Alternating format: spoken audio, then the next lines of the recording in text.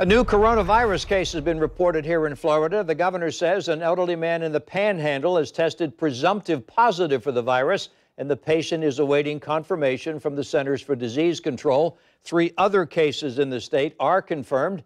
The governor also saying five Florida residents who had been traveling in China have been quarantined out of state after they tested positive for the virus. Right now, there are no coronavirus cases here in Jacksonville, but Mayor Curry said today people are being monitored. Do I expect that it's likely that we'll have one? I expect that will probably happen. News 4 Jax reporter Jim Piggott spoke with the mayor. He's joining us live with an update on the city's preparations. Jim.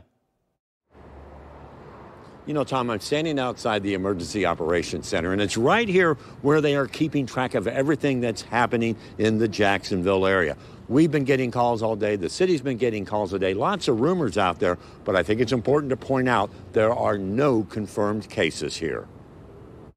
In talking with people downtown about the virus, opinions vary. I think everything's under control. Hand sanitizer, everyone's taking the appropriate precautions. Well, I'm afraid it's coming this way, and uh, we need to be prepared for it. And being prepared is what Mayor Curry says the city is doing. He was reacting to our report yesterday, saying the city isn't saying much concerning what's happening locally with the virus. Today, Mayor Curry spoke out, saying the public will find out information as soon as he does. We don't have the authority to make the decision of who's tested uh, and when those results are shared. What I will tell you is that if I got a phone call right now from the Department of Health and they told me that we had a positive in Jacksonville, I would share that with you. And that's what the public can expect. Staff with the local health department tells us its hands are tied when it comes to releasing that information. It must come from Tallahassee. We asked about cases in Jacksonville and want to learn more about the handful of people being monitored in the city. The mayor's the only one talking about that. My understanding is that there are people being monitored, and what that doesn't mean that they have symptoms.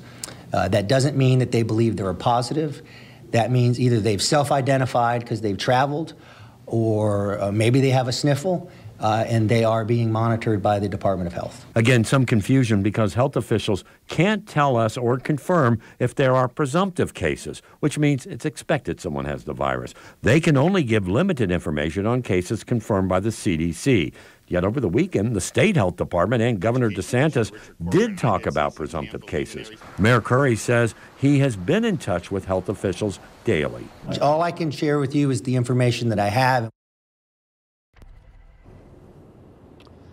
And I do want to point out, about an hour ago, I was on a conference call with the Secretary of Education here in Florida. They've been talking to all the school systems in the state, checking to see what's happening. Obviously, no schools have been closed at all, no cases at the schools in, in, throughout Florida. But they said they're standing by just in case. And if something should happen, they would treat it like we have with hurricanes. So there is every agency standing by just in case at this point. No cases here in Northeast Florida. We're live downtown, Jim Piggott, Channel 4, the local station. Thank you, Jim. We have a special section on news4jax.com dedicated to all of our coronavirus stories. There you can find the latest facts and myths and a county by county look at what's being done to prepare. It's news4jax.com slash coronavirus.